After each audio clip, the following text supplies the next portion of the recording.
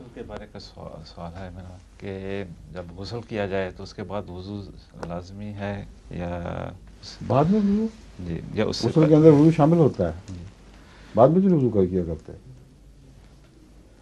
लेकिन क्या सुन्नतन वज़ू पहले करना चाहिए? आपके जो खुसक थे जी। क्या नाम था उनका? मलक साहब। पूरा नाम बताया सैफुररहमान साहब हाँ।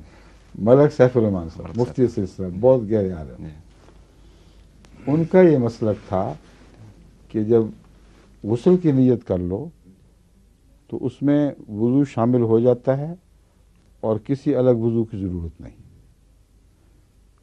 और गसल हावी है वज़ू पर क्योंकि उससे वसी तर है और सफ़ाई के लिहाज से उससे आला दर्जा रखता है तस्कीन के लिहाज से भी, बजाय इसके कि मसा यूँ किया जाए, पूरा सर नहा जाता है, साफ़ हो जाता है, गर्दन पर भी पानी, इस जिसम के हर हिस्से पर पानी तो उनका ये मसलक था। मैं एक दफ़ा उनसे पूछा, उन्होंने लिख कर मुझे यही जवाब दिया कि नहाने, गसल से के मतलब कहते हैं, मेरी कती राय ये है कि इसमें किसी अलग वज़ू की ज़रूरत नहीं।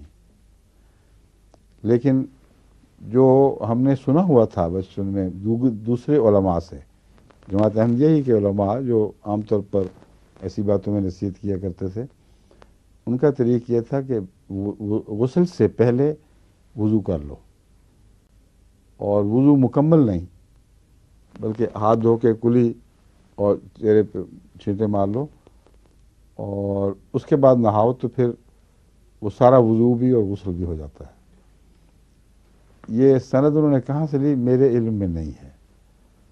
इसलिए हमारे जो इस पर सुन रहे होंगे, उनको चाहिए कि इस मसलक पर अगर कती हदायत हदीस नबी से मिलती हों तो हमें भिजवा दें, ताकि आइंदा इस मसलक पर कुल को रोशनी डाली जाए। मलक साहब ने चूँकि अपने दलाइल नहीं भेजे थे साथ, इसलिए मैं नहीं जानता कि उनका इस ये मौक़ किस बात पर मबनी था, मगर चूँकि वो बड़ी वसी नज़र रखते थे ऐसे इलमी मबास पर। तो उनके इल्म में मुआफ़ और मुखालिफ हदीसें आई होंगी ज़ाजमन और उन्होंने उनसे आखिरी नतीजा यही निकाला है कि किसी अलग वज़ू की ज़रूरत नहीं। तो इस तफसील के तशरी के बाद हमारे में से जो भी इस पर दस्तरस रखते हों मसलन ख़ास तौर पर मैं समझता हूँ मोल दोस्तों साहब बड़े इसमें माहिर उनके पास अमला भी है फ़ौर वो लगा देते हैं हम लोग को तहकीक के लिए, लाइब्रेरी पर, तक उनकी दस्तरस है। दूसरे, हमारे हाफ़ मुजफ़र अहमद साहब, माशाल्लाह, खूब इलमी ज़ौक़ रखते हैं और बड़ी जल्दी मुतल हदीस की जस्तजू करते हैं।